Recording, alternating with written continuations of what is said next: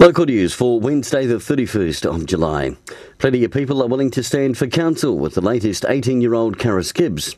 Gibbs is the founder of local youth group Wairarapa Schools Fighting Climate Change, as well as a keen advocate for youth mental health and family violence support and sustainable infrastructure. Alex Bayan has also put his hand up for the South Wairarapa Mayoralty. Wairarapa has picked up a gold medal at the Bakels Supreme Pie Awards. John Clogue from 10 O'Clock Cookie Bakery and Cafe has won the gold for his gourmet fruit pie, Black Forest. A themed gala event set in the jungle as Search for the City of Lost Pies was held on Monday night. Wairarapa police are appealing for information after a trophy red stag was shot and killed in its deer enclosure in South Wairarapa. The incident occurred on Blue Rock Road in Martinborough between 10am last Saturday morning and 10am on Sunday.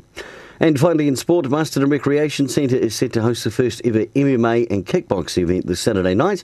The event kicks off at 5:30 p.m.